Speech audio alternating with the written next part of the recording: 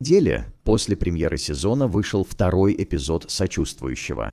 Идеальный способ продвинуться от вступления к шоу запечатлен в этом эпизоде. Задвигаемся на два месяца после падения Сайгона. Капитана приходится иметь дело с неадекватными генералами, которые считают, что шпион среди их войск. Кроме того, его друг Бонд испытывает боль, но окажется, что оба этих вопроса можно решить одним и тем же способом. Так что давайте перейдем к этому эпизоду и разберем все, что из него можно было получить. Это второй эпизод сочувствующего объяснения концовки. Только чтобы вы знали, в этом видео будут спойлеры. Эпизод начался с напоминания о том, что капитана содержат под стражей в тюрьме в настоящее время, и ему приходится передавать всю информацию об операции под прикрытием, которую он проводит, будучи шпионом Севера. Ему поручено вернуться в Штаты. Во время падения Сайгона он следил за генералом, чтобы сообщить, если у генерала был шанс разработать план ответного удара. Это была его единственная цель. Но, учитывая, что его держат в камере, похоже, что в ходе истории он скажет нам, что что-то пойдет очень плохо, и, возможно, любовь к Америке, о которой упомянул человек, может изменить его и его преданность. Первый эпизод был хорошо построен. Мы вернулись на аэродром в ту ночь, когда Бонд потерял жену и новорожденного, когда он и капитан бежали на самолет летевший в Америку. В этой сцене показан капитан, который ехал на авто по шоссе, будто бы это было давно. В машине, пропитанная тоской и травмой, Бонд не мог справиться со смертью семьи, начавшей жизнь вместе. Настроение и атмосфера контрастных сцен были неизбежны при просмотре. Кровь с жены Бонда, когда он трепетно нес ее, были зловещими кадрами – Затем вдали при закрытии двери самолета на земле, которую считали домом, охваченным пламенем, совпадающим с открывающимся крышей кабриолета при прибытии на гигантский открытый пейзаж американской пустыни, который должен был символизировать свободу из-за имевшейся безопасности. Казалось, начнется новая глава жизни, но это было не так. Многие не хотели быть там, потому что покидали свои дома, где хотели остаться.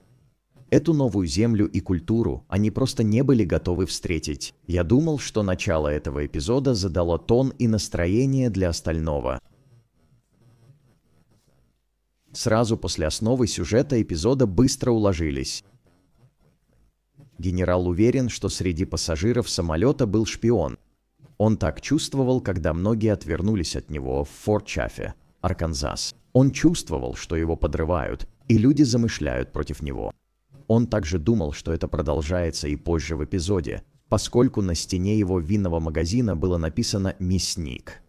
Это было отсылкой к моменту, когда генерал убил убийцу на улице. Можно было сказать, что капитан сначала был не слишком обеспокоен, но со временем ставки возросли. С генералом, уверенным, что есть шпион, дошло до того, что он подставил майора Хуана и обвинил его в шпионаже.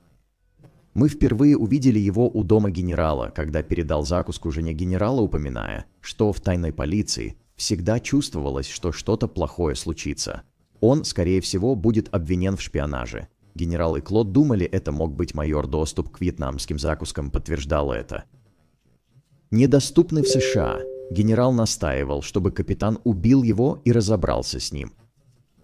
Так проблема уйдет. Был напряженный момент, когда имя капитана упоминали, говоря о подозреваемом шпионе. Был только смех и неуверенность, но это показало, что в игре капитана есть слабость. Хоть он и под прикрытием, но не всех убедил. Вспомним, когда он был с профессором и встретил Софью на ужине. Она сказала, что видит насквозь его игру, будучи хорошим студентом профессора – это значило больше, чем подразумевалось изначально. Поэтому подозрения к нему обязательно увеличатся.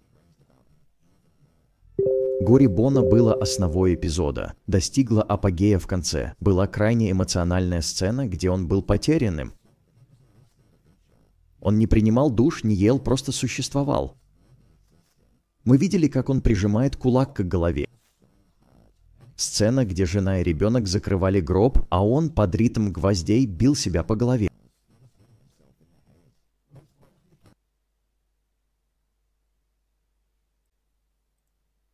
взволнован. Можно было почувствовать боль, которая охватила всех. Несмотря на то, что капитан казался искренне огорченным смертью жены и ребенка Бона, психическое состояние Бона было чем-то, чем он решил воспользоваться. В конечной сцене капитан открыл Бону, что майора считают шпионом, и как в кодированных письмах, которые он отправлял, он спросил Бона, следует ли ему убить его. Когда было упомянуто о шпионе, Бон резко изменился. Он произнес «Теперь вот с этим я могу вам помочь». Это выражает глубокую ненависть Бона ко всем, кто стоял на стороне Севера, людям, которых он считает ответственными за смерть его жены и ребенка.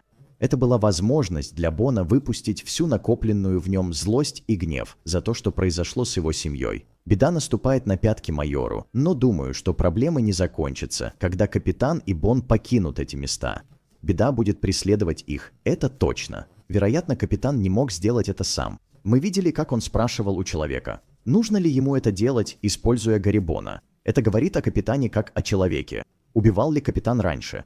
Ну, это то, что мы точно не знаем. На интервью с капитаном были интересные вопросы и заявления. Интервьюер спросил, чувствует ли он поддержку активистов в Америке. Он сказал, что американцы поддерживают вьетнамцев, на что капитан спросил, каких, севера или юга? Интервьюер ответил, всех. Капитан ответил, Думаю, мы все выглядим одинаково, верно? Это был момент, когда начал показывать другую точку зрения на войну. Интервьюера наивность и невозмутимость были интересны. Но во время интервью капитану задали смелый вопрос. «Вы кого-нибудь убивали?» А затем голова интервьюера превратилась в яйцо, и мы увидели сцену, напоминающую пациента или заключенного, едащего яйцо.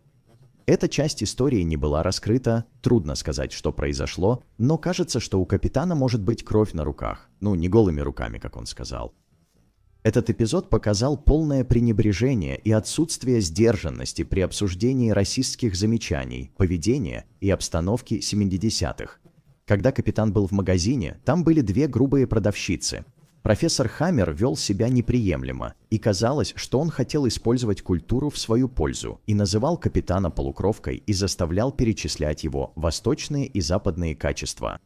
Публика на его приеме. Как будто это было развлечением, сериал продолжил тему в этой серии, давая еще одну причину беженцы могли чувствовать трудности в строительстве нового дома, когда окружение было таким – В моем отзыве я сказал, что это хороший эпизод. С точки зрения стиля он просто великолепен. Использование переходов, обдумывание, использование определенных цветов, музыка, повторяющиеся мотивы при показе сцен из прошлого и актерская игра – все это великолепно дополняет друг друга и напоминает Пак Чхан Ука. История этого сериала совмещает познанию и развлечение, хороший темп позволяет сериалу иметь естественный ритм, несмотря на то, что он переносит нас через разные временные периоды и показывает историю в прошлом и настоящем. Три персонажа, которые сейчас впечатляют меня – Капитан, Генерал и Бон. Все актеры играют просто невероятно, их образы полностью убедительны. Также считаю, что Дауни-младший отлично справляется – его роль профессора сильно отличалась от Клода. Но то, что делает сериал захватывающим для меня, его остросюжетность и внутренний конфликт капитана. Я правда не знаю, что будет дальше и что случится с Лэндоном в камере, но мне это интересно. Вот и все. Обсуждение второго эпизода «Сочувствующего». Объяснение финала. Как всегда, спасибо за просмотр. До следующего выпуска.